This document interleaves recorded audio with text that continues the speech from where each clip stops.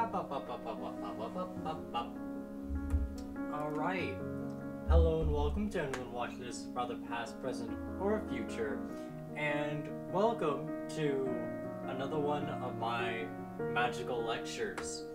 And tonight we are going to be going over dragons. Uh, now I do understand uh, the dragons are a very, very broad category.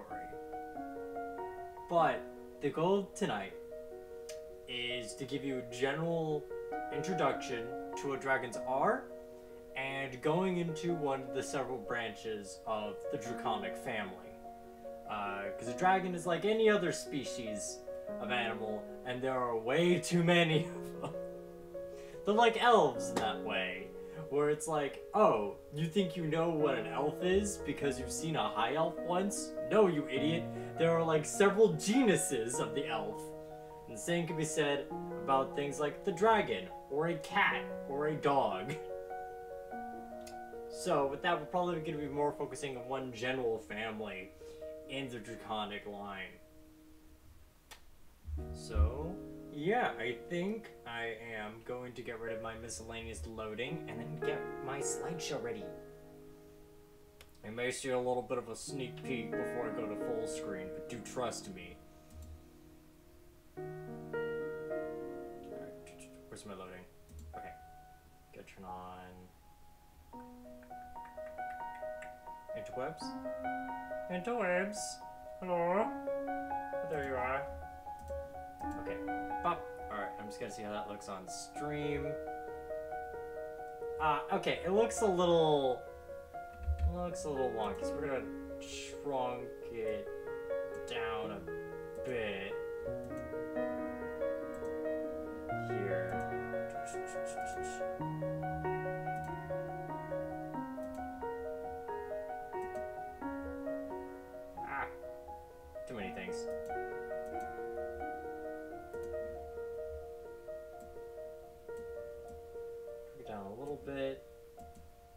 Slideshow. Ah, now it's. Oh, I hate this. I'm in pain. I'm struggling.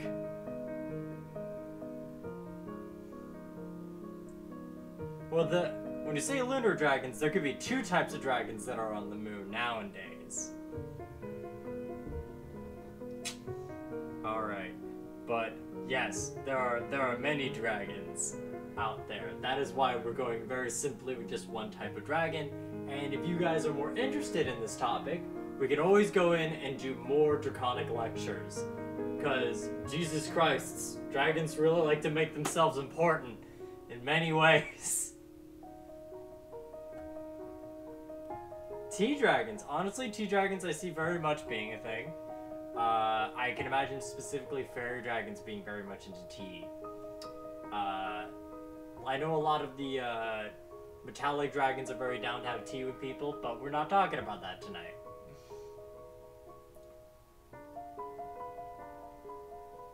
Those aren't true dragons. I don't know what you're talking about. There are two different dragons that are moon related. There is the Moonstone Dragon and the Amethyst Dragon, which I think lives on the moon. But those types of dragons aren't really well researched. Uh, so that's why that's gonna have its own stream there. Uh, two dragons are in a comic you love. Oh, that's adorable, shiny purple pants. That's adorable. Alright, so we're gonna go in, and I'm going to start it. So, you may ask yourself, Oh no! Thinky drag. Oh no! Oh no! Oh no! That that looks too wonk. That looks way too wonky. Oh no! I hate how because it's in slideshow mode, I can't like show you how it all looks. Okay, or I can't show myself how it should look. So it's give me a moment. Okay, we're gonna do some experimenting live. No! I feel like I feel like now every teacher in the last decade.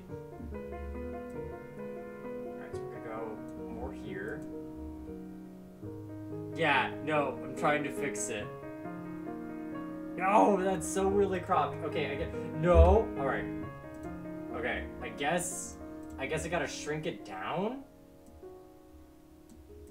Oddly enough, shrink it down, but more towards here. Is that what's gonna make it look right? Okay. Let's see. Let's see. Uh, I'm looking at. Yes. Okay. Uh, it's it's a little off, but it's okay. I think we can. I think we can go without the first letter. So I'm just gonna. I'm just gonna. Just, just gonna. You know what? No, I'm just gonna move this Drago up here. Up. All right. So you may ask yourself, what are dragons? Because dragons, there are a lot of things they are, and quite a few things that they're not. Uh, to begin with, dragons tend to be very large.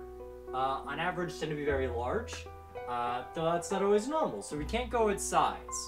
What we can go off of is sort of common traits a lot of dragons tend to have. First off, they are reptilians. They are very much in the reptilian line, uh, the reptilian family. Uh, they are surprisingly warm-blooded, uh, which is very abnormal for reptiles. Um, oftentimes they have wings. There's only very few cases where they don't. Um, but flying is a major consideration. Uh, as well as the ability to breathe out an element. Now, with an element, I'm not talking about in an alchemical sense, because if you talk to chemists, they would go, "Oh, so does that mean they can breathe neon?" No, I'm I'm talking in the most uh, in an elemental sense that one would think when they were watching Avatar: The Last Airbender. Those types of elements, uh, as it were.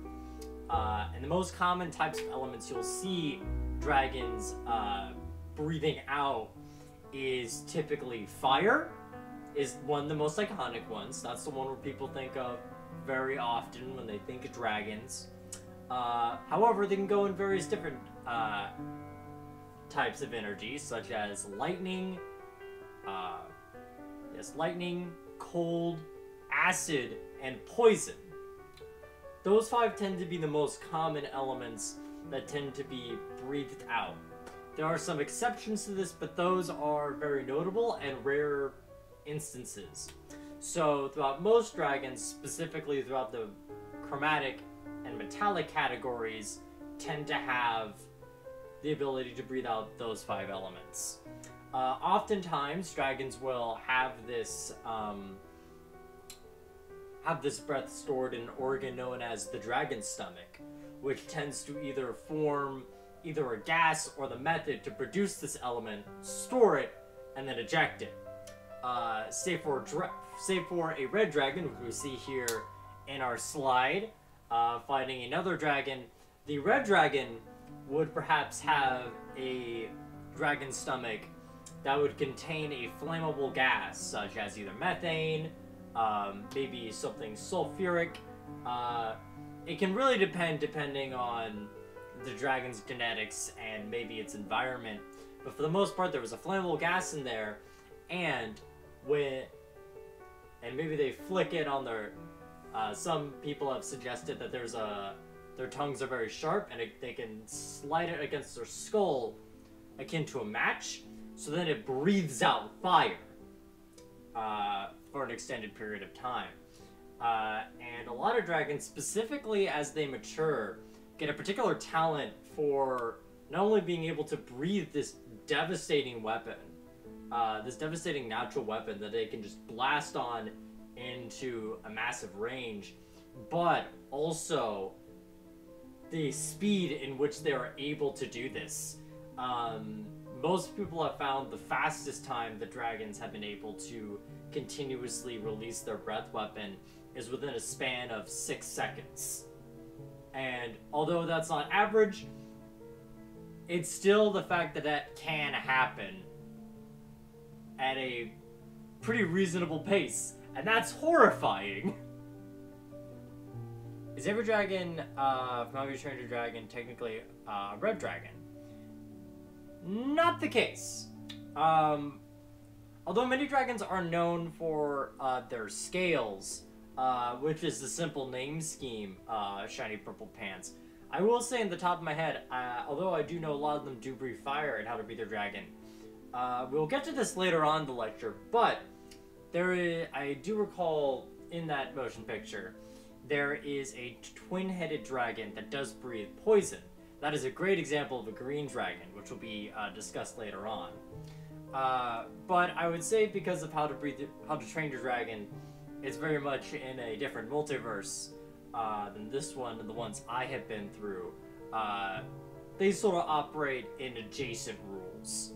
Um, but in the case of this lecture, I'm mostly going off of uh, sort of my own uh, the multiverse I am most familiar with, and as well as uh, the one I am uh, projecting to. Uh, but that is a very good question. Uh, always be critical about what it, about what you're consuming, and asking yourself the questions: What is it, and what is it truly? Because some things are tricky. But yes, so again, major requirements: typically reptilian, warm blood, flight ability to breathe an element of some sort. And those are the physical characteristics of a dragon that most people would associate and gravitate towards to classify it as a dragon. But there are key states, there are key aspects of the mentality of a dragon. Dragons are very intelligent creatures.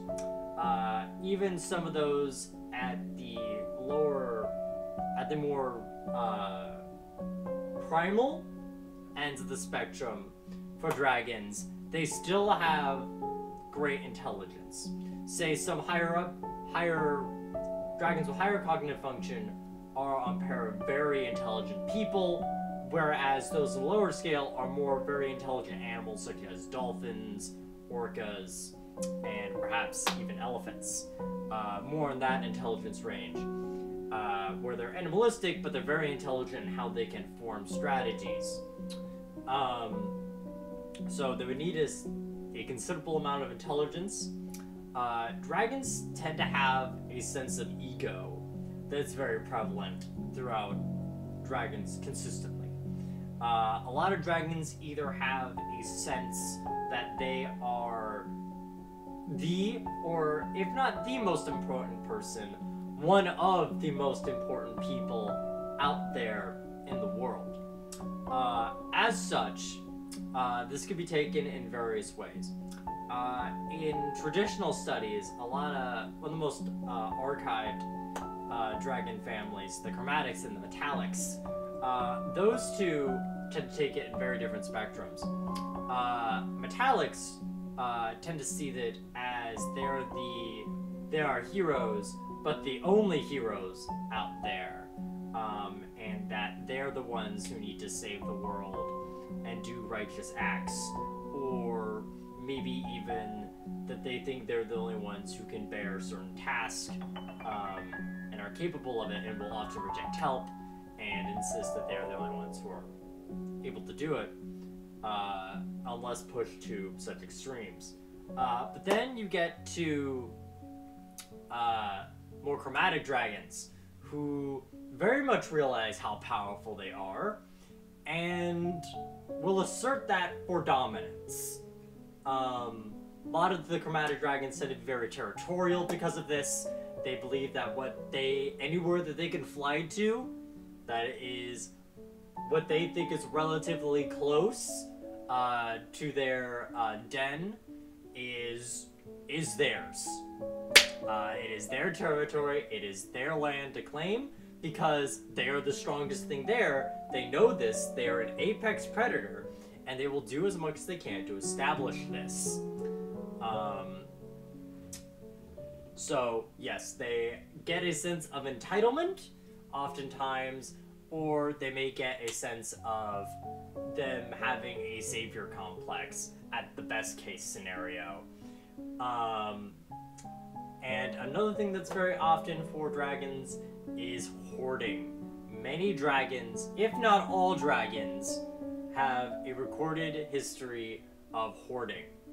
Now, oftentimes in legends, you hear the hoarding as uh, gold, valuables. And in many cases, this is true. A lot of dragons like having money uh, or gold because they realize that is a power status for a lot of other intelligent creatures.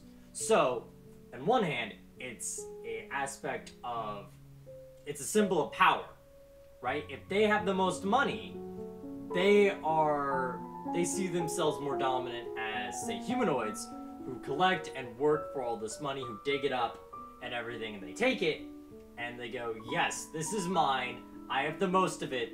I'm better than you."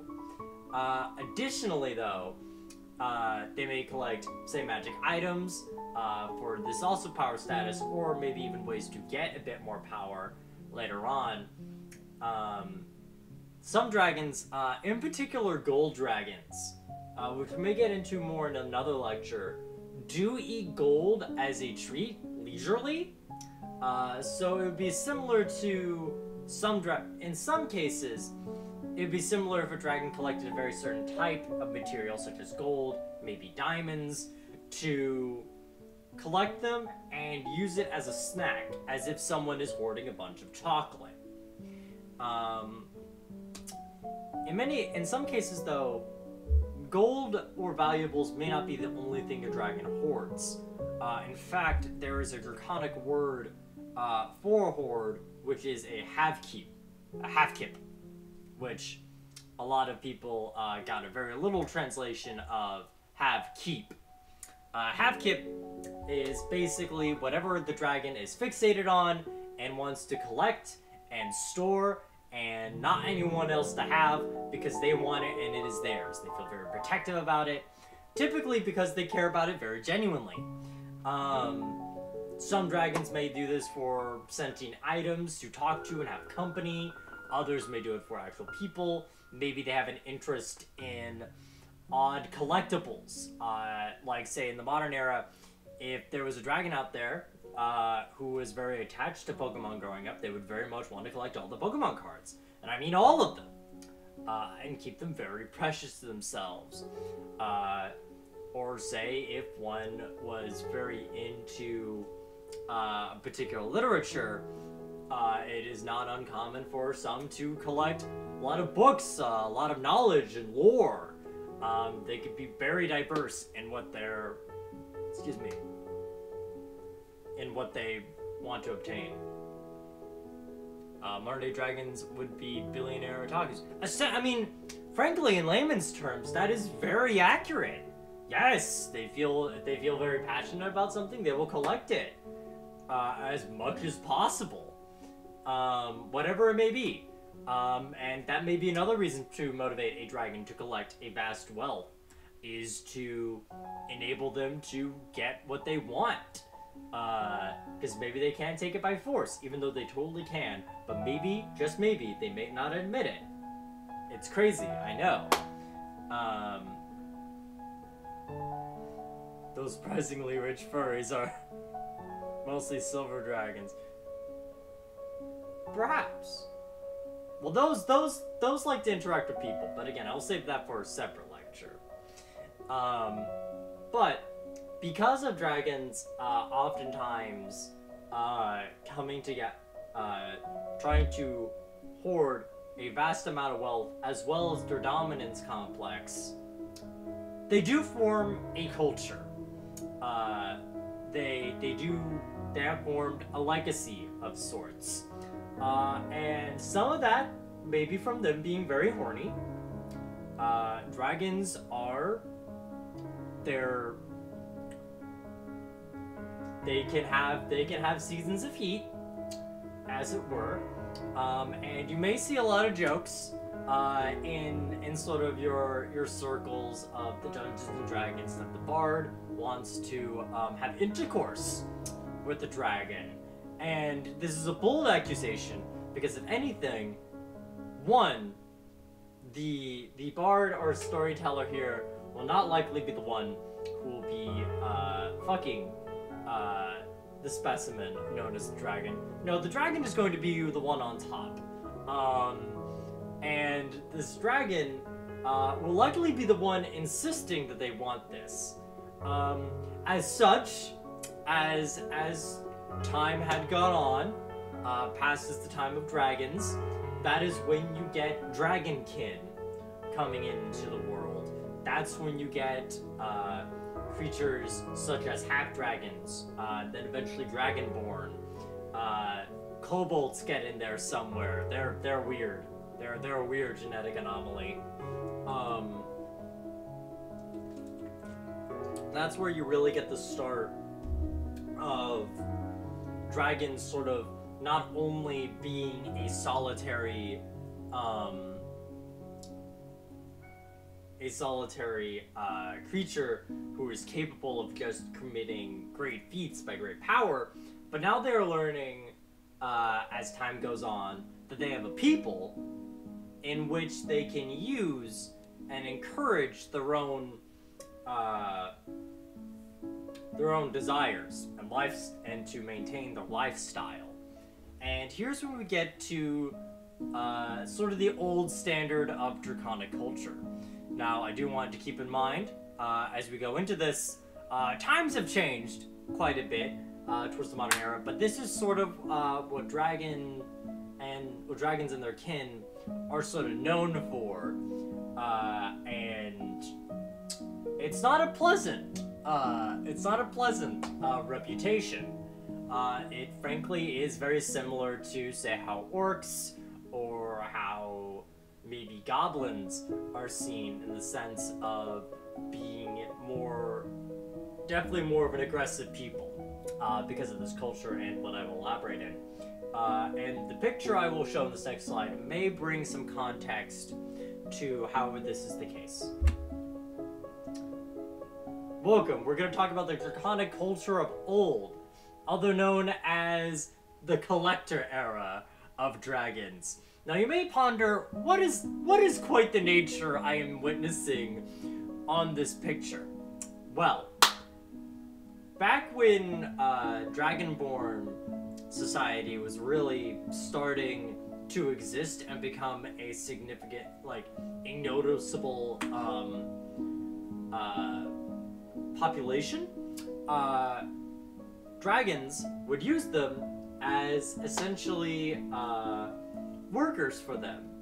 Uh, and dragons would use them to enforce uh, the territory they have by collecting tribute. Uh, and this tribute would be taxing the people who would live around that area uh, for the right of the dragon existing there. Now, this is more often for chromatic dragons, but this is again what most people are familiar with with chromatic dragons. Uh, and chromatic dragons just specify uh, so we know what context we're going into more, and I don't, I don't talk about it as if this is all dragons. This is mostly what chromatic dragons are known for. Um, chromatic dragons are typically known uh, for their color, uh, as opposed to their material, like other dragons. Uh, this in mostly encompasses white, black, green, blue, and red dragons in particular. Um, but focusing more on this, um, so yes, chromatic dragons in particular would send out their dragonborn, or even half dragons uh, in some cases, to go down to towns uh, that were considered under the dragon's territory, and then they would ask for uh, payment, uh, tribute, as it were, to their new draconic leader uh, for protection. And if they did not pay the tribute, uh, either the dragonborn would attempt to persuade them through violence, or the dragon himself may attempt to persuade with violence. Um, so, yeah, essentially, uh, the old draconic culture is comparable to an old-fashioned crime syndicate. Yes. Now, I find it very interesting the wording uh, that you have there, Shiny Purple Pants, of the Dragon Mafia. And it is more close, uh, the namesake is more closely to another crime syndicate. Uh, the often draconic word uh, for this uh, style of governing uh, was called the Drakuza. Uh, and the Drakuza is very much a name that is feared uh, throughout many areas and is sort of where um, more modern crime syndicates uh, sort of take on that aspect now. Uh, and it's it's an old draconic word, uh, basically me meaning like dragon loyalty. Um, so yeah, yeah. Um, it's a it's a very peculiar word, especially how it uh, happens to overlap with some uh, languages here in the prime material. Um, but yes, it was it was quite something. Uh, oftentimes there would be a strong hierarchy within the uh. Oftentimes the dragon uh, that would be in charge of the territory would be obviously the main person in charge. Anyone who would be the immediate lower people would be within its presumable family. So if it had a younger dragon uh, that it was raising, it could be a possible heir or a short time uh, consultant, um, perhaps maybe even uh, some, yeah, mostly a consultant. Uh, alternatively, it could be other heirs, uh, such as half dragons, uh, which is the most direct line between dragon and uh, humanoid. Uh, so that would be like, say, if a dragon really wanted to have a good time with an elf and they produced an offspring, that offspring would be a half dragon and will likely live a very long time. Because dragons themselves also live significantly long. With dragons, oftentimes it is very rare that a dragon dies of old age. Uh, dragons are akin to lobsters in that sense, where they don't die unless they are killed. Uh, it is more likely uh, that a dragon does not die restfully on uh, restfully in their sleep. Uh, in fact, in most cases, that uh, dragons that most dragons that don't die in combats tend to die more off from disease, um, from maybe a weaker immune system at their older age. Um, but it's very rare that one dies of just the body ceasing to work, such as unlike other humanoids or mortals. So yes, they can live. They can easily outlive a, uh, very old elf in their in their twilight years. Uh, typically, uh, when one dragon gets to the status of ancient, is at a thousand, and it is not always common because dragons are very aggressive with each other. But it has been recorded quite a few times. Um, but yes, uh, and if you got that with an elf, gave it a half dragon, that dragon, that spawn is gonna live a long ass time, if not killed. Um, and then it would go down to the Dragonborn, uh, and then after that, it would probably be down towards any people who were uh, recruited to join the Drakuza out of debt. Uh, essentially, people who are uh, indebted, basically indentured servants to the Drakuza uh, for anything they don't really want to do, anything that isn't particularly flashy or um, particularly a big job, like say going into a town collecting tribute. They would be more say, um, hey, we want you to take care of this guy uh, and make it not look like a big deal. Uh, like they would basically be treated almost as sleeper agents, if not for manual labor. Uh, and underneath that would be the kobolds, uh, who are smaller dragonoids, uh, draconic humanoids. Uh, if anything, they resemble a lot more of a um, of a gecko. Uh, but they do have, they are related to dragons in like the same way a dog is related to a bear.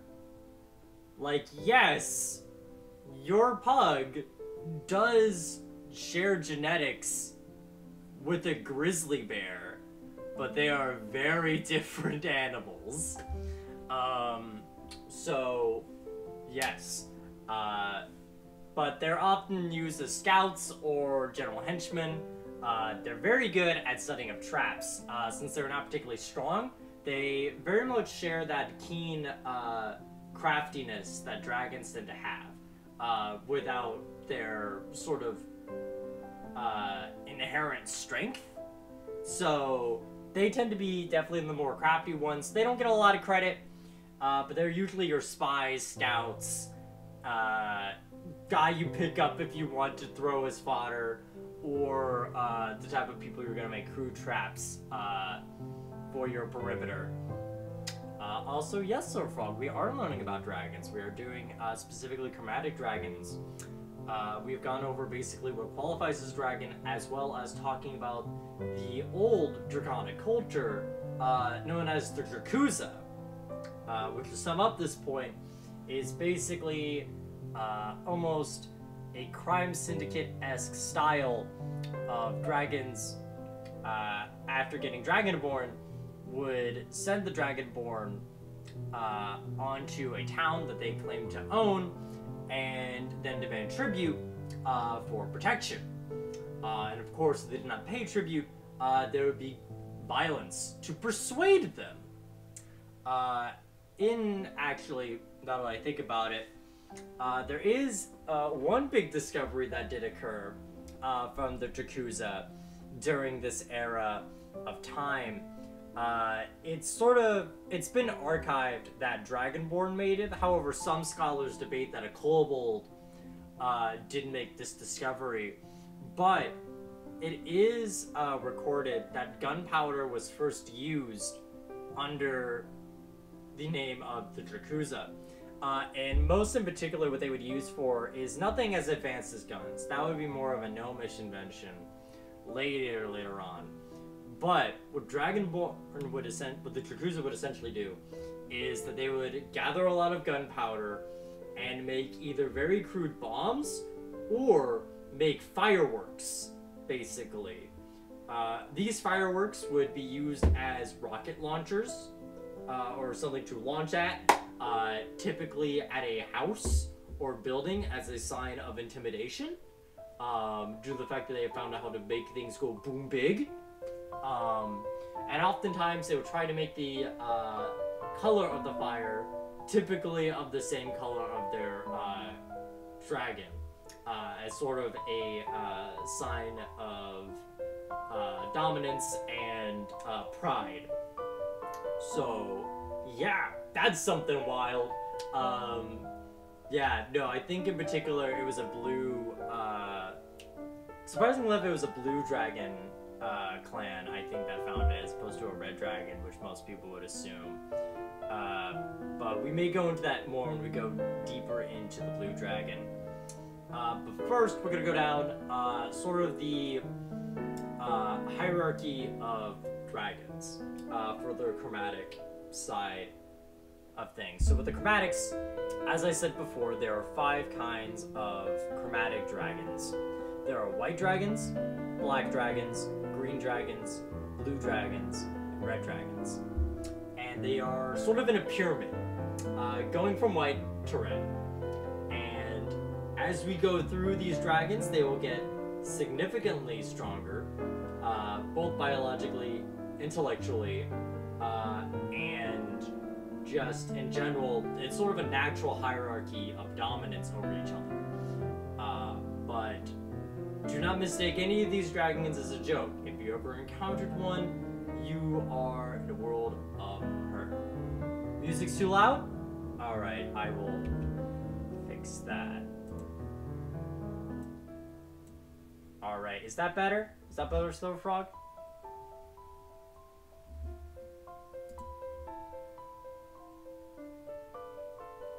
Just gonna wait to see if, uh, yes? Okay, perfect, perfect. I hope it was not drowning me out.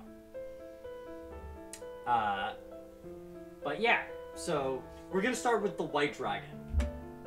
Now, white dragons are often considered one of the most primal dragons. Uh, if anything, they are considered. Uh, there's a little why I mentioned it. Oh, okay. Thank you, Silver Frog. Thank you for mentioning it. Uh, but yes, uh, white dragons are considered one of the more primal of the dragons, but definitely sort of the first uh, oftentimes when adventurers will try to hunt down dragons, this is typically what they try for first, and many of them do not come out alive. Uh, it's sort of like a first big roadblock if anyone were to attempt to uh, go after a a dragon of any kind. Uh, and white dragons are, although they are not la- although they are not as, say, considered intelligent uh, compared to some of our other dragons we'll be covering, they are, again, more comparable to the intelligence of an orca or a, a wolf, maybe an elephant, uh, more higher thinking animals that may not be as um, intelligent in the means of book smarts, but very much in terms of tactics and capability to hunt down and take out their prey in very brutal and efficient means. Um, a lot of theories of why maybe white dragons are more primal and brutal, maybe due to their uh, environments. Uh, white dragons tend to be living, they tend to live in tundras or glaciers, uh, you know, very cold environments. Typically, any dragon, any white dragon, uh, lives around is probably at least freezing, likely going into the negatives. Uh, and they they are very much seeking any big game in an area where probably does not have as significant big game. Uh, probably the biggest game out there in those environments would be, say, like moose, bears, or perhaps any other uh, larger magical creatures. Uh, so, a common theory as to why maybe white dragons are oftentimes uh, archived as a lot more bestial is because their environment that they can thrive in the most is just the most brutal and the one where they maybe have their less needs fulfilled. So they're more focused in how to obtain that. Um, white dragons uh, are probably one of the. First off, white dragons I think are probably also one of the most interesting in terms of their uh, capability of movement. Uh, they are very fast on land, incredibly fast in the air, but they're also known to be capable of digging. Um, particularly, what they will do is go into either, like, again, ice glaciers, uh, icebergs, or massive snowbanks and dig in, dig massive caverns and um, an intricate burrowing system uh, to form their their lair and den. Um, oftentimes, uh, because of this, their dens seem to be very deep into whatever massive snow or ice they're in. They can't really, they don't really get a lot of say treasure or uh, gems or anything. Uh, what they tend to hunt after more is say rare specimens. They they seem to be a lot more intrigued in like seeing different types of animals, rather if it is prey or perhaps something that fascinates them. Uh, say, for example, maybe a white dragon may witness like a pack of mammoths, and normally it doesn't see mammoths. And instead of eating them like it would be normally, it would maybe grow curious and try to freeze them and preserve them and try to get that into its hoard. Uh, maybe things that aren't naturally in its environment, like say adventurers, oftentimes something that they're fascinated with and will attempt to freeze over and try to uh, keep that into storage, as it were. They they seem very fascinated by these things, and oftentimes it seems more often for ancient, uh, for like either uh, more likely, ancient white dragons tend to have a chance to really like study other cultures through sort of this preservation or trying to like maybe uh, eat out of the ice and try to dig out things of these adventurers to sort of learn culture. Uh, it's kind of it's kind of an interesting phenomenon again comparing to um, when uh, compared to the other dragons, which have a bit less of a harsh environment they have to be into uh, to get their food. Uh, white dragons tend to have a disadvantage in just being able to learn and have some of their other needs met. Met. So it takes them a significant amount of time longer for them to gain maybe skills that other dragons would debatably have. Um, and again, most of it is archived in white dragons to have that level of sophistication and uh, sort of awareness and study. Um, and especially when they're not as perhaps able to be as active as they would like. Um, because let me tell you, arthritis for the for the wings, oof, it's rough. It's rough. Um, but yes, uh, one last uh, fun fact I will leave you uh, the white dragon is much like how it likes to preserve things. Uh, it does like eating things that are frozen.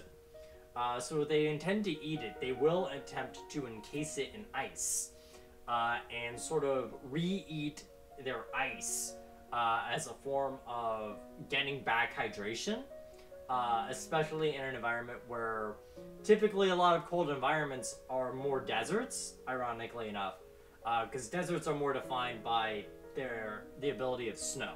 If it can snow a lot, it's not a desert. Uh, but if it's dry, it's considered a desert. So Antarctica is an example of a desert. And white dragon is in Antarctica, it's gonna need a way to keep getting water and hydrating, uh, especially if it stays in more in the mainland. Uh, and that is how a white dragon can use its use sort of water reserves, have it out, freeze it, and then sort of recycle it, as it were, while also getting some nice crunchy uh, flesh slushies. Next, we move on to the Black Dragon. And the Black Dragon is a very brutal dragon.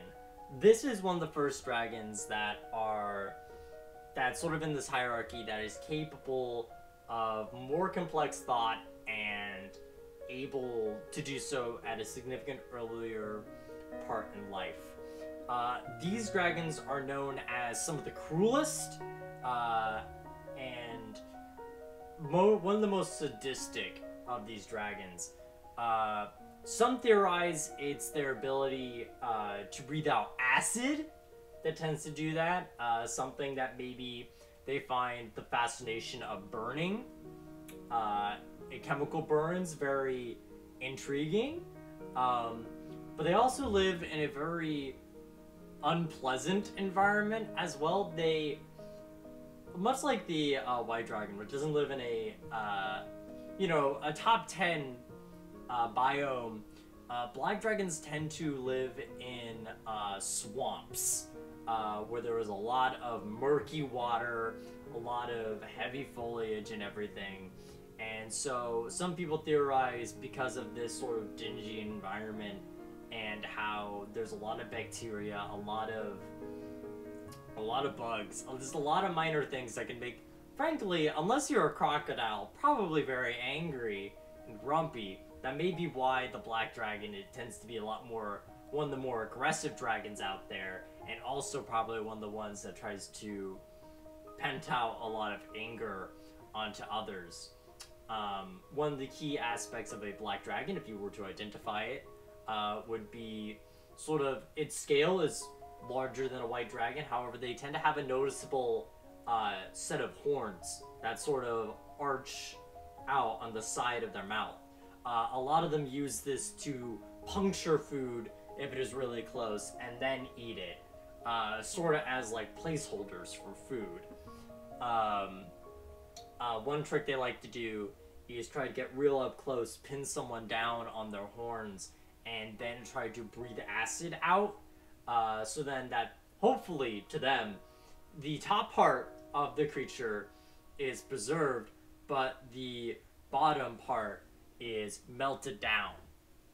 Um, another reason most people sort of suspect that these uh, dragons are a lot more antagon- antagonistic is due to the fact that they do have acid, which is uh, which leads to quite a bit of side effects.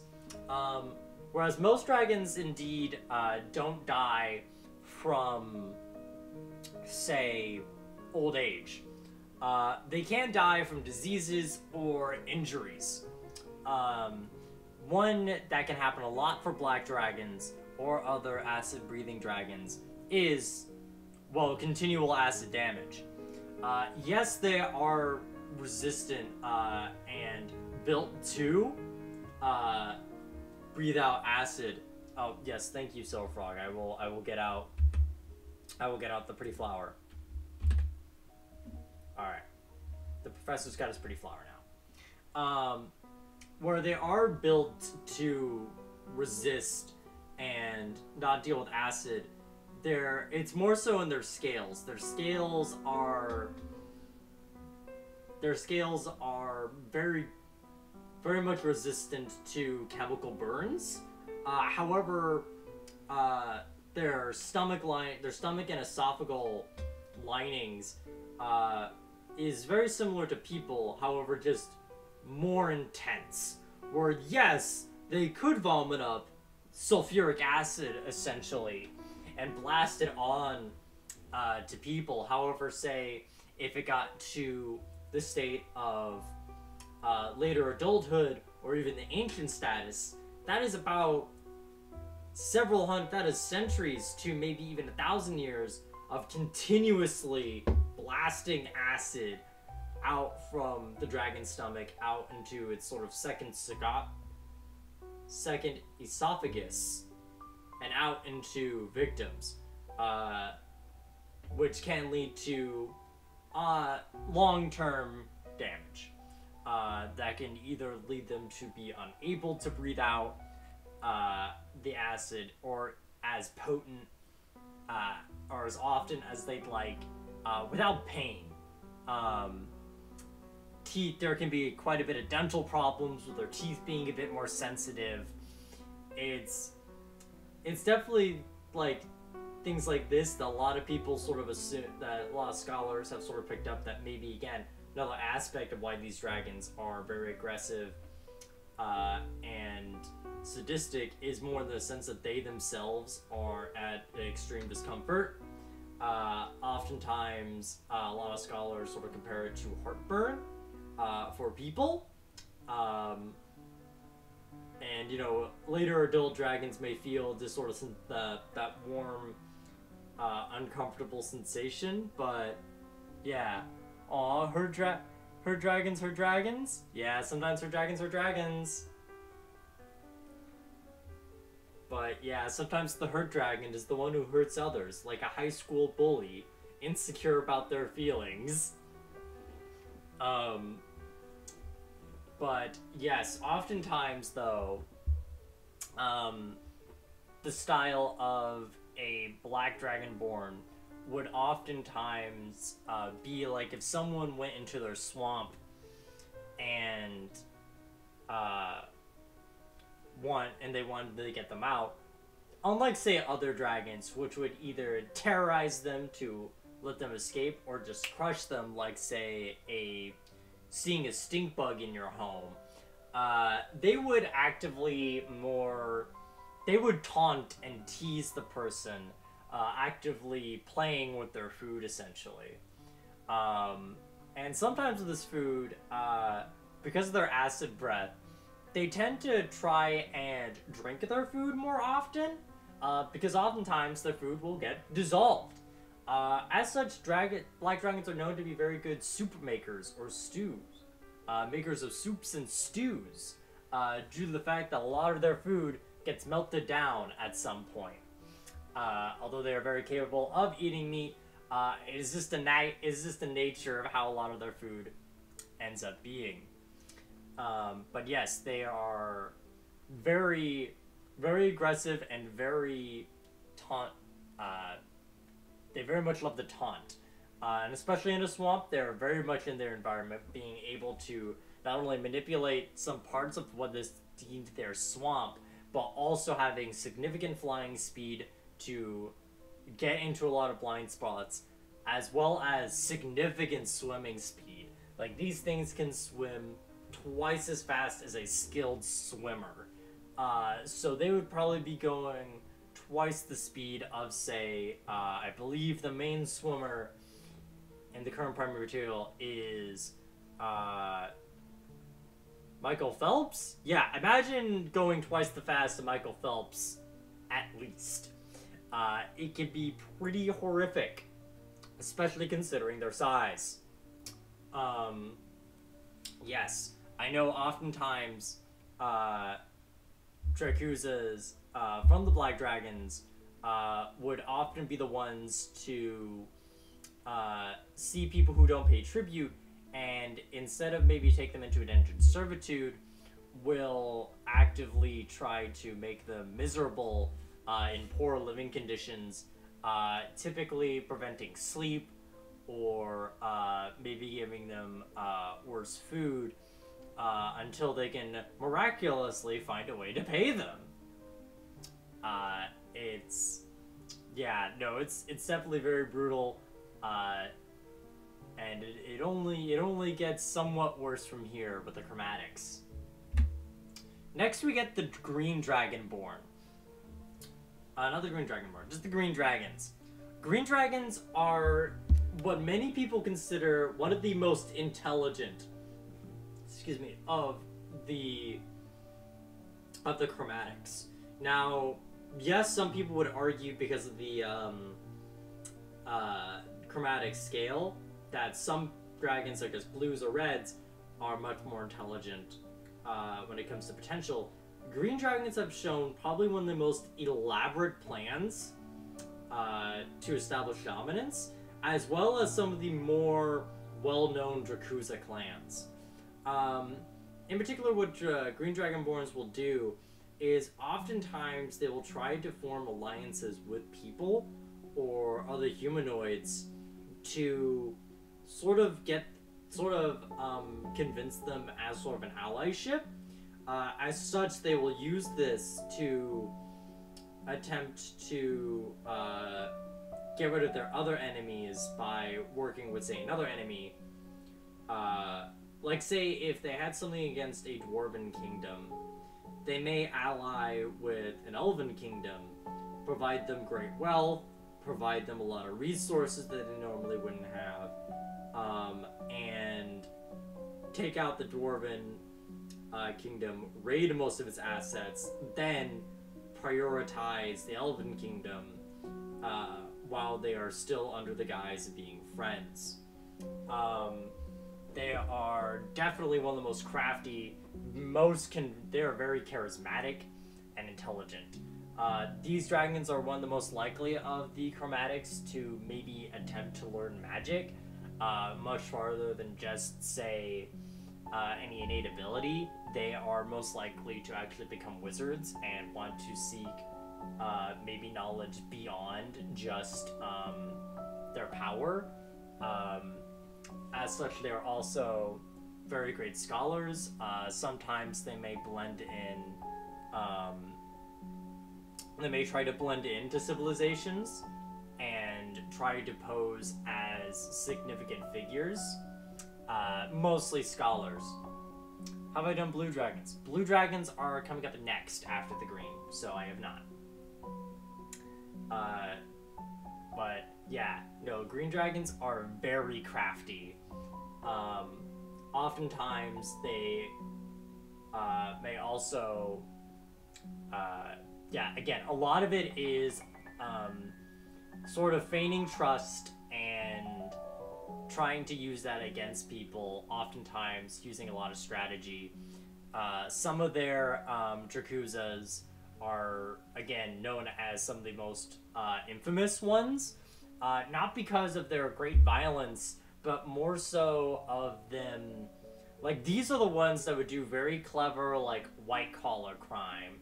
These are the ones that would do a lot of, like, money laundering schemes from like any alliances they formed uh, with nations to try and like siphon money out, maybe siphon resources, um, and whatnot. And it's or like say they would have a lot more blackmail tactics than say simply going into uh, a town and destroying it. They would more so go like, "Hey, we found out you had a relationship with this person, but you're married. Now we don't want that to happen. So why don't you increase the tribute you're gonna give uh, to our patron dragon, and then we will ensure that this doesn't get out where it doesn't need to go." Uh, in situations like that, uh, they're again more manipulative and tricky. As such, their breath weapon is probably one of the most appropriate uh, due to the fact they are very toxic individuals, they have they're one of the few dragons that are able to breathe poison. Um, as such, it often comes in large like clouds of gas, um, and it can vary between what kinds of gas it could be. Oftentimes chlorine, and it is very, very dangerous towards a lot of people, and especially because they don't have to be as direct as say uh, other dragons who may shoot out lightning or bursts of cold. Because it is a gas, some dragons may us swoop down a city, do one breath, and then may have a significant portion of the of the citizens coughing and wheezing, uh, and likely dying from essentially chemical warfare, um, which in many creatures out there is not very common. Um, and speaking of chemical warfare, that is another thing that uh, the Green Drakuza has been known for. Unlike some more of these more, uh, unlike some of these more more, uh, unlike some of the dragons we will go over, uh, the last two dragons of this hierarchy, um, some of these would be, uh, you know, making more gunpowder and the like, and using that for explosives oftentimes what some Dragonborn would do in the Yakuza would try to channel their breath weapon uh, into an ob- into a capsule of some sort and throw that around to try and get people out of their homes if they felt the need to go aggressive. Um, this has also encouraged their more sly tactics because once they establish uh, sort of reputation that they can do such very brutal acts, um, yeah, that they can just go like, hey, we know you don't want to do this, and we don't want to do this either. Uh, we don't want to. We don't want to. We don't want to throw this glass ball into your home, make it crash, and make you guys cough and everything. No, we none of us want that. Our boss kind of wants his money. Also, I'm glad you're having fun, Silver. I'm glad you're having fun with the uh, with the war crimes dragon. Uh, but yeah, no, these are definitely the ones most known for war crimes for sure. Um, but yes, these are these are definitely one of the most dangerous to people. Because uh, surprisingly enough, when you research a lot of creature anatomy, uh, poison is most effective on mortals and humanoids and beasts, uh, which happens to be what Green Dragonborns tend to target, surprisingly enough. Wow! Um, but yeah, they are they're definitely one of the most dastardly, and they are they will also live in forests. So unlike some other Dragonborn which live in some more extreme environments, such as say like this dragon lives upon this mountaintop far away from civilization, or this one dragon lives in the murk in the murkiest depths of the swamp or in the coldest tundra. Green Dragonborns tend to live in forests. And so if you ever went to a national park, uh, that would be prime real estate for a green dragon. And they are very they are very huge. They're sort of one of the bigger dragons when like once you get past black and white dragons, green dragons are a considerable size increase that I think they probably have one of the bigger wingspans of any dragon. It's real estate. See this? See this forest? This dragon? Plop on down there. Get a lot of food. See a lot of villages like being near the woods. Oh, perfect. Perfect for bribery. Ka-ching. Perfect for blackmail and extortation. Hell yeah. Uh, but yes, green dragons. Yikes. And uh, now uh, we get on to a dragon uh, eagerly looking forward to uh, by Silver Frog, and we get the Blue Dragon. Now, the Blue Dragon is one of the most fiercest dragons out there. Uh, oftentimes, again, in this hierarchy, considered one of the one of the top three worst dragons you wouldn't want to be around. Oh yeah, yeah, I bet you do. I bet you do. Uh, blue dragons actually would be one of the more common dragons to attack people directly, um, because these dragons are definitely higher up in sort of the chromatic. Um, in the chromatic uh, hierarchy, these dragons are definitely one of the most ambitious. And a key difference is sort of comparing them to the green dragon. Green dragons will oftentimes seek to manipulate a system and profit off of it.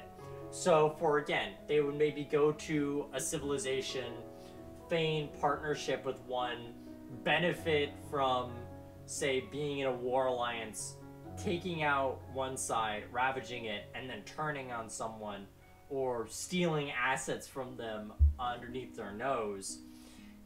And they're content with that. They're content with feeling, knowing that they're the ones on top and uh, getting the real power while also making their neighbors seemingly happy. Blue dragons are not quite satisfied with that.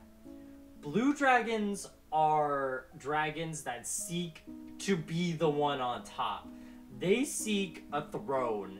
They seek an audience and a people to rule.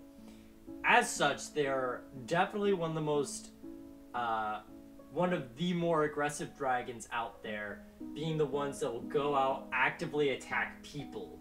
Um, whether it be with the Drakuza clan raiding uh, initially, or having them be the initial one to establish a threat and establishing dominance personally and then establishing, hey, this is the Drakuza, these are my people, you will pay them taxes for protection.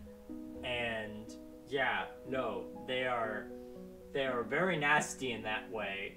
Uh, oftentimes, these are one of the most um, top ten, top most voted to be a dictator of all uh, of the drag of the chromatic dragons. They would uh, oh, okay. I see. I got a. I got a question here uh, from Shiny Purple Pants, which is a very good question. Uh, are all dragons evil aligned? They sound evil, and honestly, from what you're hearing in this lecture, you probably would think that. Uh, these are in particular um, chromatic dragons. So this is a family of dragon kind that is known for their horrors and terrors, uh, and how their egos are often used to have a sense of entitlement. Not all dragons are evil. Uh, even these dragons could potentially not be evil. These are mostly uh, recorded instances of these dragons. Um, men, there are different types of dragons out there. Um, those in particular, uh, which are known for their great acts, are metallic dragons. Um, there are some dragons that are simply just out there in the world, um, and they have various different names, whether it be crystal, uh, maybe they're named after a particular stone or environment that they live in. Um, but no, I want to remind everyone because not maybe not everyone was here at the beginning of the lecture. Uh, ego is a big part of what makes a dragon a dragon, uh, and some dragons take this in the sense of entitlement. Some take this as a sense of maybe some of them are simply selfish but well intentioned. Some may be may see themselves as a noble figure that has to do acts and as such may not know its limits. Um, but no, I, I, will probably go over in separate lectures because I only prepared for chromatics, uh, which surprisingly took a bit, uh, which has been going a bit faster than I originally predicted. Um, I'll probably go in a separate lecture going over different types of dragons, since this seems to be getting a lot of interest uh, to the people, and I would happily uh, be willing to go on about it. I will probably also go over more types of dragons, again, seeing that the pace of this uh, lecture is going.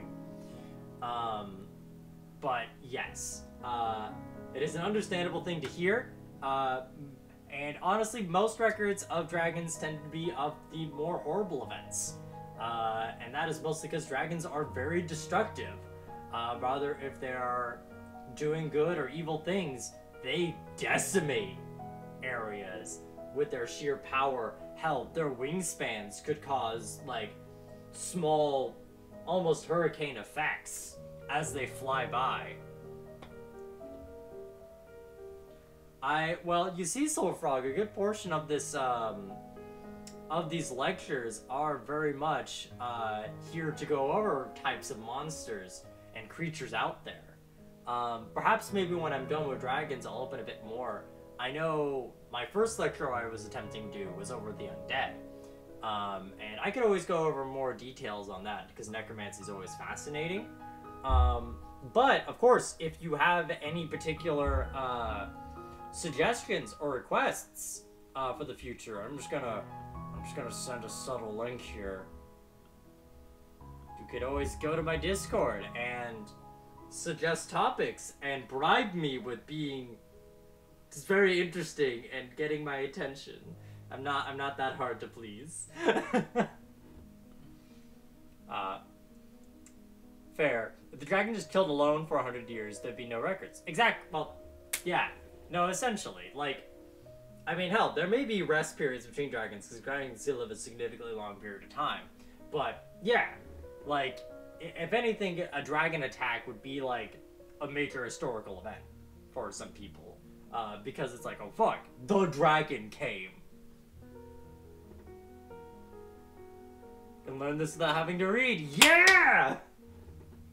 Why why read books when you can go to a lecture and obtain information? That's honestly the best way to learn in my opinion. But yes, uh, back to the horrors of Blue Dragon. Uh, but yes, Blue Dragons are definitely one of the more aggressive dragons for their sense of entitlement and sort of seeking to have ambitions to rule a throne. Um, probably one of the best. Oh, should make an audio audiobook monster manual. Oh, you're making me blush. you're making me blush. I'm a well. Okay, to be fair, I am a divination uh, wizard, so my main my main job is to perceive an archive. that's why that's why the planes are so fascinating to me. I was very considering I was very much actually considering going through uh a lecture of the elemental planes. Uh, but I recently had a discovery of dragons, uh, or Drakuzas being the ones to, uh, use gunpowder before gnomes, so that just made me go, whoa! sort of made me really want to talk about uh, dragons. So I'm talking about dragons.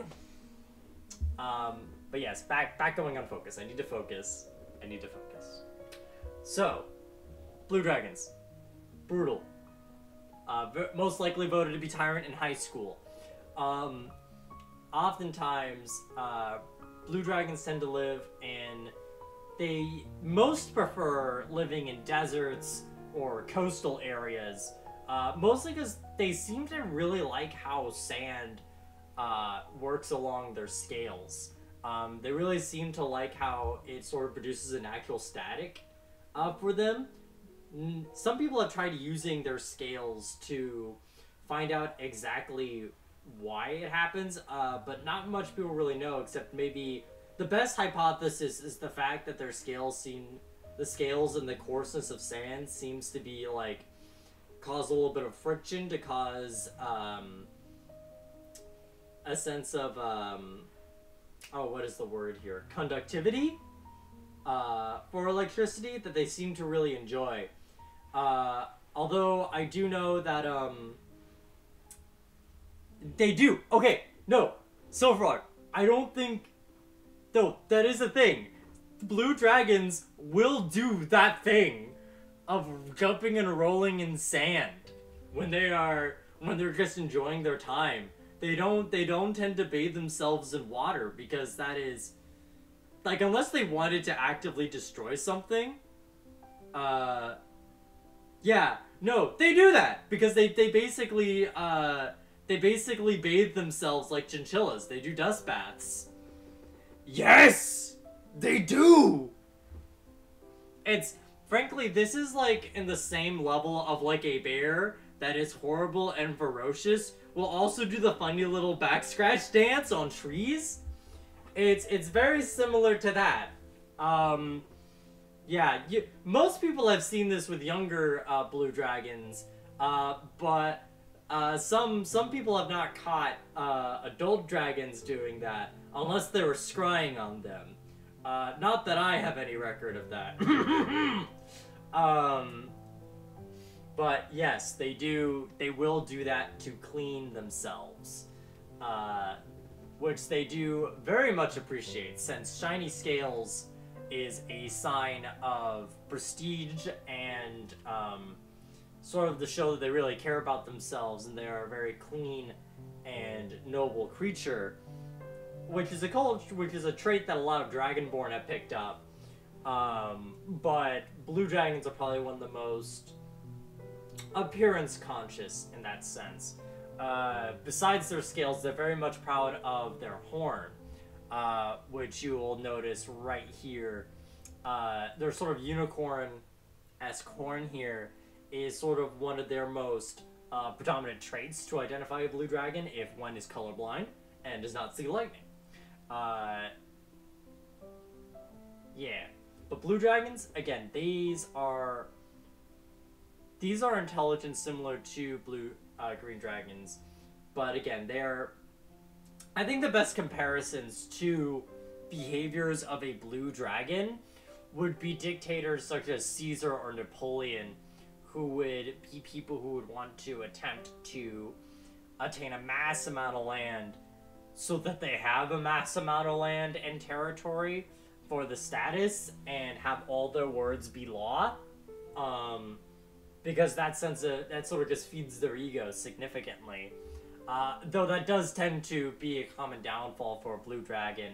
Uh, usually, it is not their uh, the brute power uh, that stops them. It usually is people taking advantage of their pride.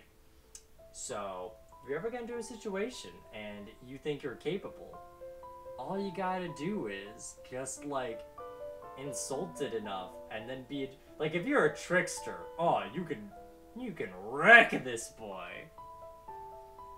Uh but i will say they are probably along with the green dragonborns probably one of the most formidable drakuzas in the sense of being one of the most organized drakuzas out there. Blue dragons tend to have a lot more sense of order uh, than some of their other dragon kin um, the only one close to them in terms of organization is the Green Dragonborn. That is only because they want to do very ambitious, very complicated tasks uh, that require a lot of communication and uh, cooperation and a lot of networking.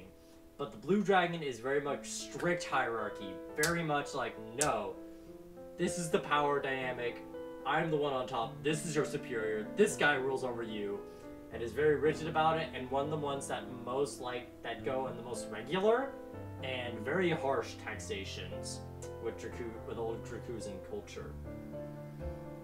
And now we go on to the most dominant type of dragon.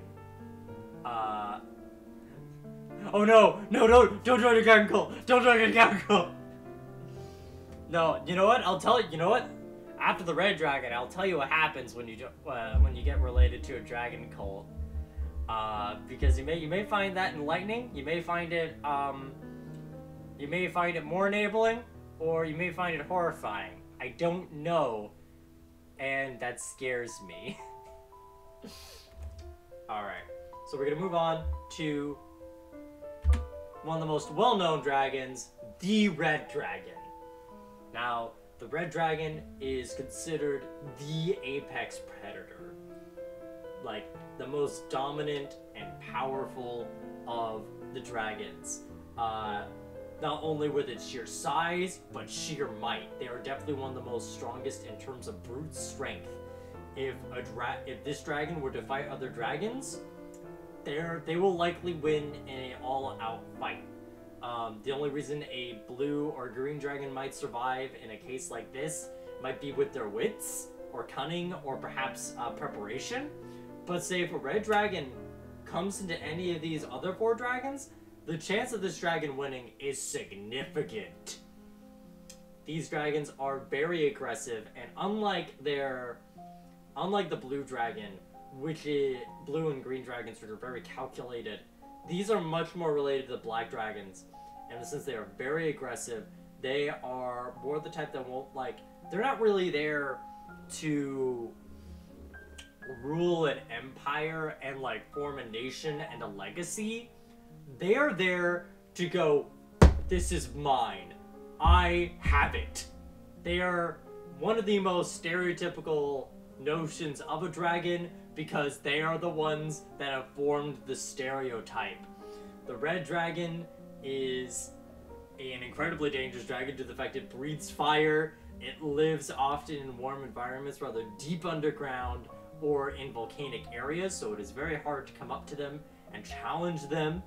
Uh, they are very much the type of dragon that will fight you for something they think that you may think is a minor thing, but if they feel it challenges their pride even a little bit, they will attack you. Blue and green dragons may have some form of restraint if they feel like it may have an advantage. A red dragon has the hubris to assume nothing is stronger than it, uh, which is a fair assumption, frankly, uh, and go out of its way if it feels wronged, slighted, or anything to immediately kill it. So, yeah, red dragons are definitely nothing to fuck around with. Um, excuse me.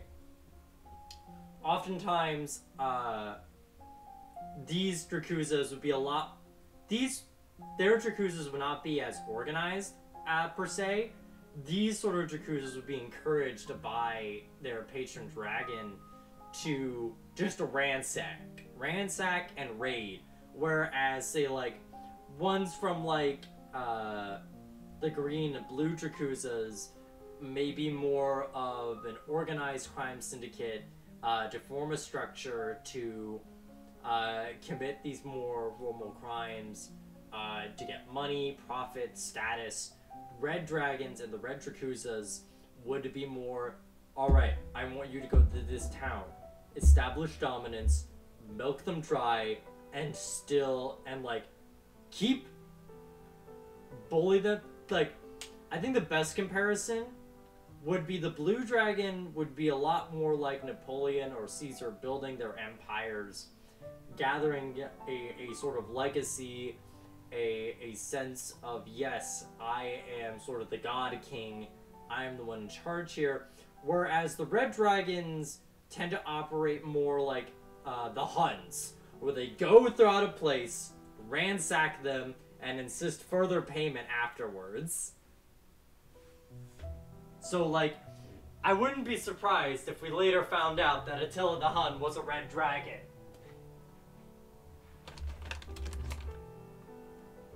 Maybe even Ale Alexander the Great actually would be most likely to be a red dragon. Hmm.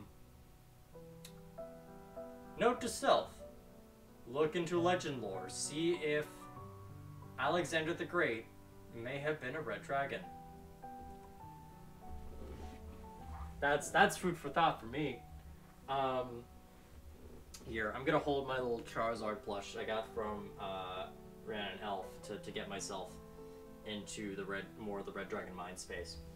Uh, but yes, red dragons are very brutal, very ferocious, and like they may not be the one you're most likely to deal with. I would say if you were to deal with a chromatic dragon, more likely, uh, probably green, maybe blue, uh, on average. If you're in uh, just geography, geogra- geo- geologically speaking. Uh, but if you happen to be anywhere near what a red dragon considered its territory, ooh, buddy, you're fucked. Um, even when it comes to killing uh, red dragons, where normally uh, dragon hunting would be a significant. Like, if one wanted to organize a dragon hunt, right? Uh, even if you got, like, a group of adventurers who are very powerful, that is a significant challenge to the fact that dragons are very. They're aerial. They're they're tricky to actually get to a point where you can fight them unless you have a significant amount of ranged weapons. Um, so like, if you were to hunt down a dragon for the first place, you would have to get a lot of uh, heavy cavalry, uh, not cavalry, a lot of siege weapons for the most part. Get it, traverse to the environment in which the dragon resides, and then attempt to attack them. Uh, so say for like a dream green dragonborn, uh, you would have to go into the woods with your like ballistas, your catapults, etc., and attempting to attack with large objects there.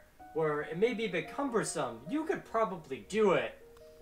But then you get things like the Red Dragonborn, which is mostly in very mountainous terrain, uh, likely, if they can, volcanic or naturally warm environments. Uh, and that's. You can't really get a lot of siege equipment there that easily. You can't get armies there to attempt to assault a dragon. Um, usually, with instances of red dragons, these are very long combats. Uh, if it is an army affair, accompanied with strong, capable uh, people. Um, yeah. Uh, and red dragons in particular are a type of dragon where like some people can negotiate with a green dragon. Blue dragons can be a bit trickier, but negotiable. Red dragons are not a negotiable dragon. They are very much brash, aggressive, and fickle. Uh, and probably the ones most likely to hoard a lot of fucking money. And will just. The blue dragon would have, like, maybe consistent fees or taxes that it would implement and then progressively raise them to to get more power. Red Dragon would be like, I want a bajillion gold and maybe I'll leave you alone. And it's like, we don't have bajillion gold. It's like, I know you don't have a bajillion gold, but if you had it, I'd maybe calm down for like a day. So, yeah, Red Dragon, don't fuck with the Red Dragon. Red Dragon's big fucking news. Uh, I am a very powerful mage. I would not fuck with a Red Dragon. What I would do if I had a red, if I encountered a red dragon, I would try to banish that motherfucker, so I'd have time to book it. Uh, but a part of Draconic culture is not just the aspect of um,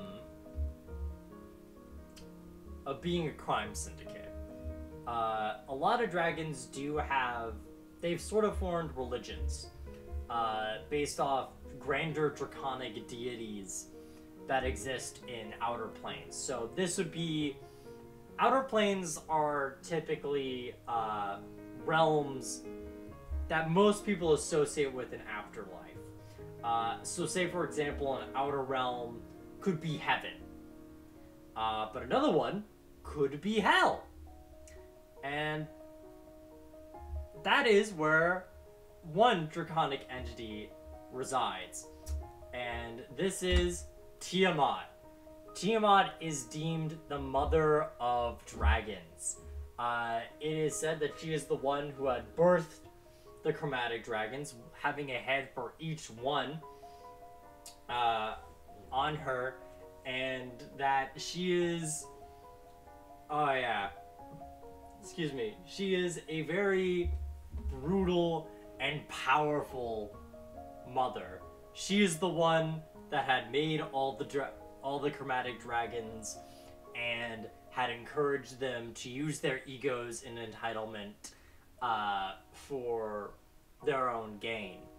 Uh, of course, um, the Tiamat, the religion of Tiamat in um, Draconic culture uh, is very polarized depending on which dragons that it's seen by. Uh, but mostly for its worshippers uh, in um, in the chromatic uh, family, there you have it where she is more of something to look up to. Uh, like, you have to strive to be the level of dominance of the grandmother, essentially. Um, that she is an example of what a true dragon should be, having all the power of her of her spawn and becoming the ultimate form of what they could be.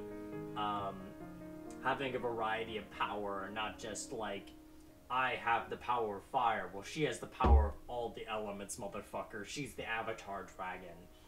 Um, and you may ask, why did I mention hell earlier? Uh, well, that's a good question. Uh, Tiamat is in hell.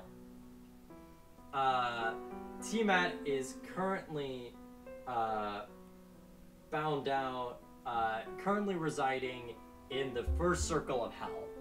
Uh, and this is because for a considerable, I believe it was a millennia, maybe two, Tiamat was able to sign a contract with Asmodeus, who is the man, the devil, the fiend himself, who is in charge of hell.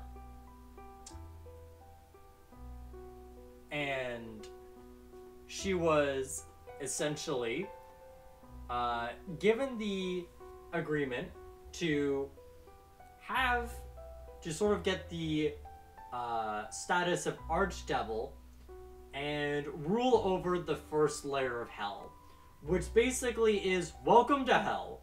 You have entered hell, and if anyone wants to go to hell, they have to go to you first. You are essentially the Grand Doorman, uh, where if anyone has to go down further, you're the one who decides if they go down further unless they have uh, predisposed approval.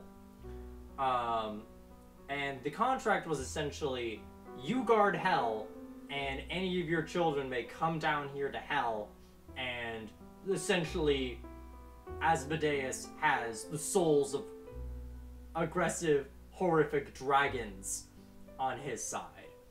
Uh, but, uh, Silverfrog, you bring a very excellent point about the the consideration that she can be brought back to Earth.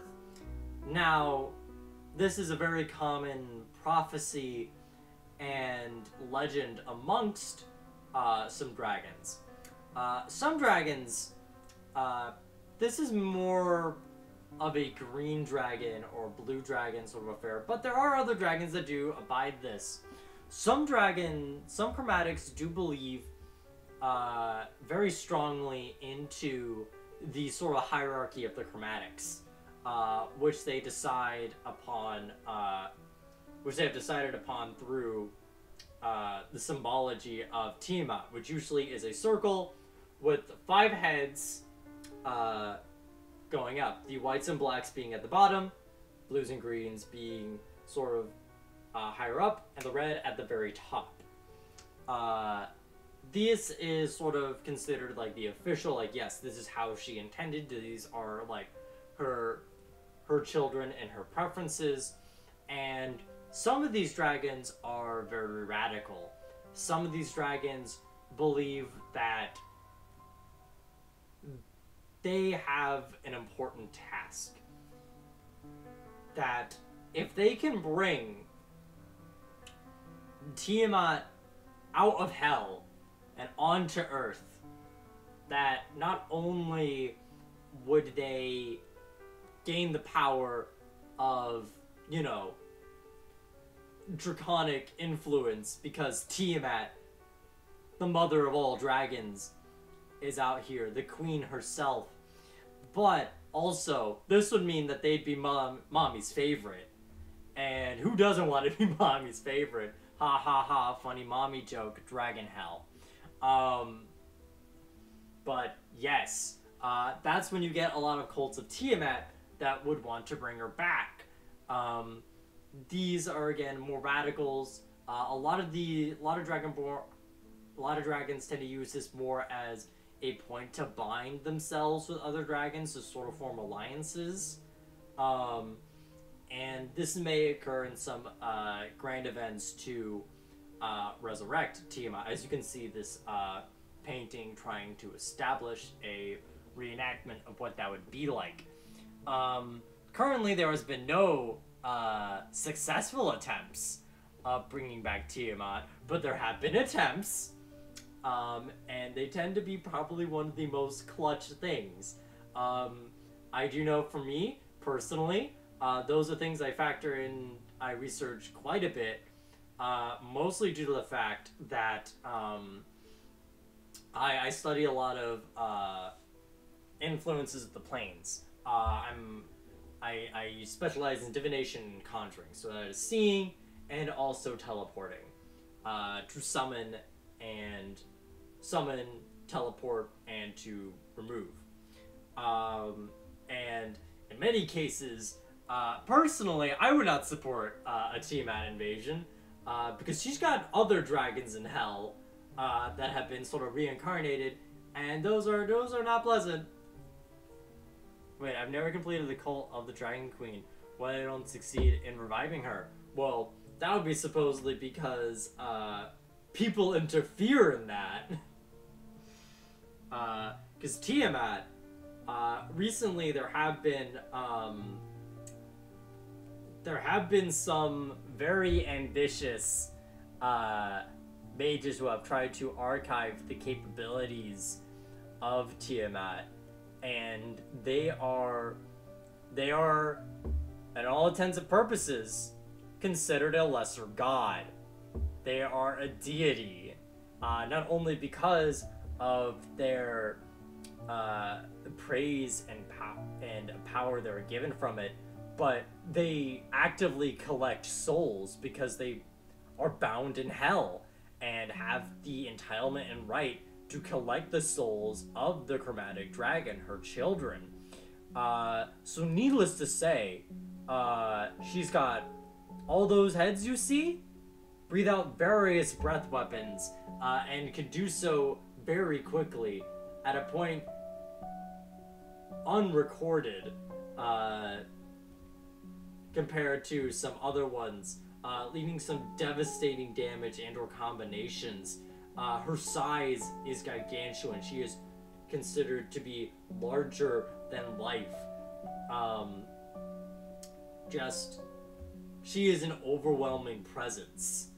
And really, the only way you could stop her is not letting her enter the prime material.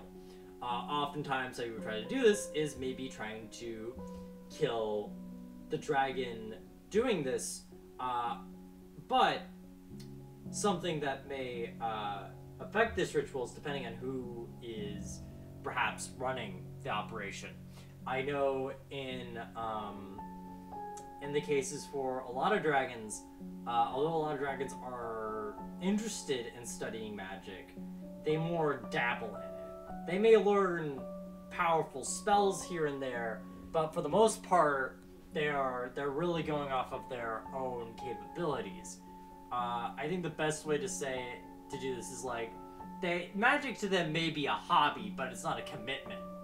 Uh, so what they would do is more likely capture a lot of people who are more powerful mages and attempt that individual or individuals to attempt the uh, opening uh, of a gate, which would probably be the best way to do it, um, between hell and the prime material, which is a significant thing. Like that is that is going into the ninth circle to create a permanent, or at least a significantly sized portal from another plane to get something or a group of things out of another plane and into ours for a significant period of time.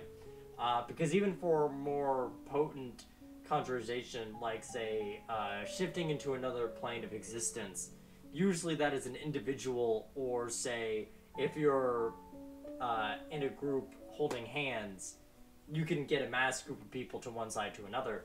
Uh, but you can't really get like a portal set up to another plane unless you delve into a significant amount of chroma- chromatic energy. Also, good night, shiny purple pants. I I guess like. I mean, if you join a Dragon Cult, just I hope it's it's like Scientology. You'll just have to have a lot of money. But yeah, Tiamat Tiamat is very horrifying, and to stop a ritual with her, you would have to stop uh, either dragons, uh, several, uh, most likely one who is considering themselves the boss, and or uh, mages trying to set up a very major ritual.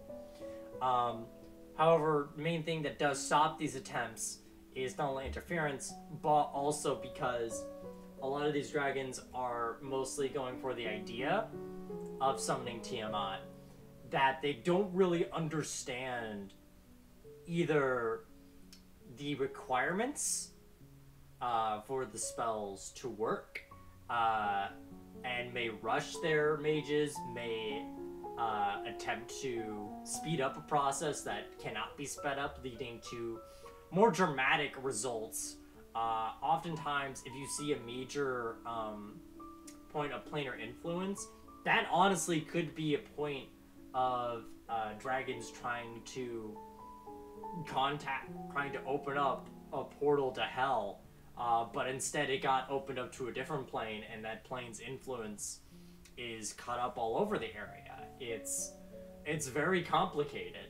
So even without interference, it's very possible that a Tiamat resurrection ritual will likely not work immediately. You would probably have to attempt it various times to get it fucking right, and even then, you would likely have to deal with entirely different groups of people where you'd have to um, try to set things up.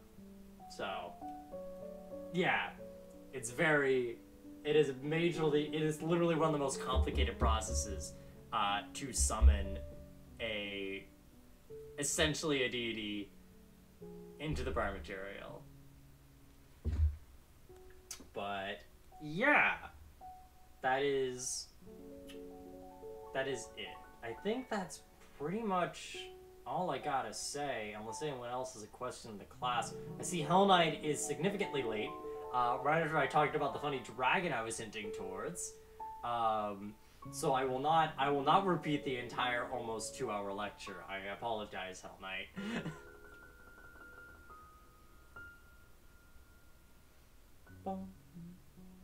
but yeah, I'll leave the floor open for if anyone has any quick questions.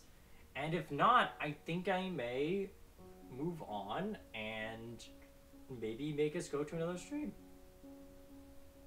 I'll just have to wait till I.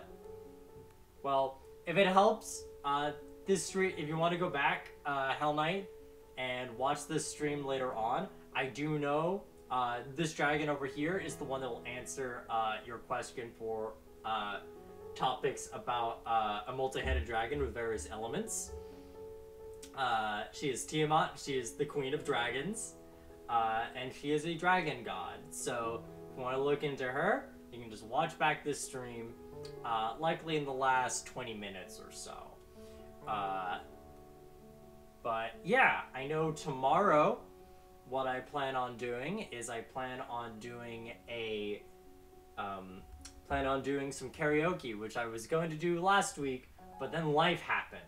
Um, so I wasn't able to. But tomorrow, I'm going to be doing a very interesting karaoke stream where the theme is doing songs I heard a lot in 2008 while listening to Sonic AMVs. So if you're interested in what the hell that is going to be like, find out tomorrow at 9:30 p.m. EST.